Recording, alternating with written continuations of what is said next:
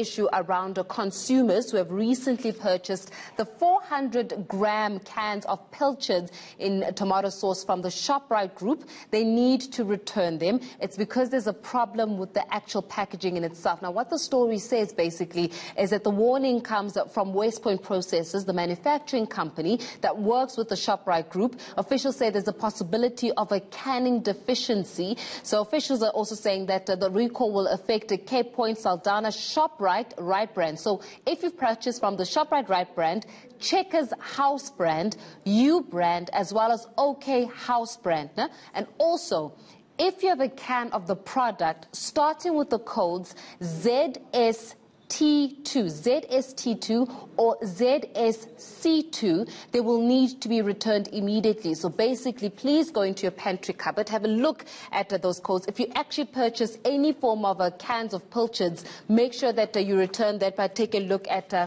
the actual coding in itself. Now, we've got a response that ShopRite sent, and this is what ShopRite has actually said during the response. They're saying that we swiftly reacted to our suppliers' recall notice during the week as food safety concerns are taken very seriously seriously in our business. We ensure that no further product possibly affected can be sold in our stores. We urge consumers to check their food cupboards and return the recall product to us for a refund. We'll be getting you more insight in terms of that story as it develops, and hopefully we can get you somebody to speak to from either ShopRite or even that manufacturing company to find out exactly what is wrong with that product that may possibly be in your cupboard right now. However,